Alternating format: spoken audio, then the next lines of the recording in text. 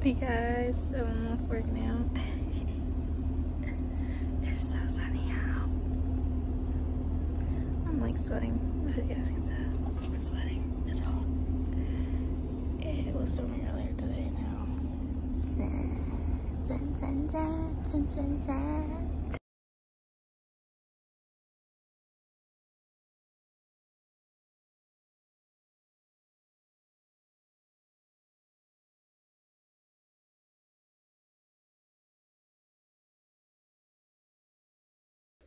I guess this is coming out from work. In the dark, isn't that cool? Good morning guys, so I'm ready to go to work today.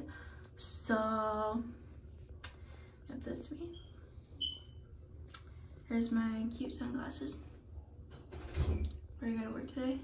That's gonna be like a high of like 101. So, um, yeah. I'm all ready for work though. Oh yeah guys, and one more thing I did want to mention, it's been really hot. Like yesterday the heat index was 110, so I'm like, dang, that's hot. And usually when it's like that hot, my um, big Adidas water bottle does not last more than um, maybe all morning. But it did last a little bit not longer yesterday because I was at Toll's. I was in air conditioning, so I was still drinking it, just not as much as I work outside. So I don't know how busy it is going to be today. But yeah.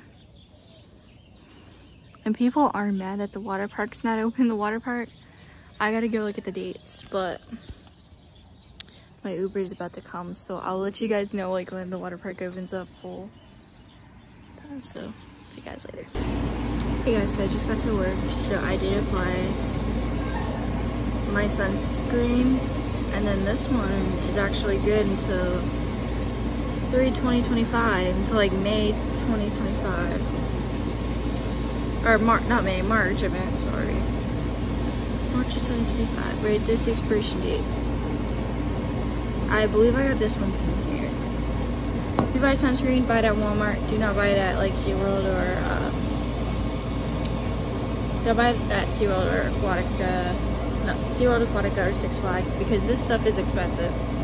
It really is. I believe I bought this one here. I don't remember how much I paid for it. So, yeah. So I put that on. So I'm ready for the day.